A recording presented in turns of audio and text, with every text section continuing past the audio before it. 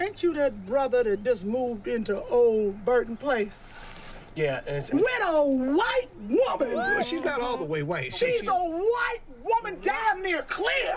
Come on now, it's 2013. Interracial relationships is not a big deal. What?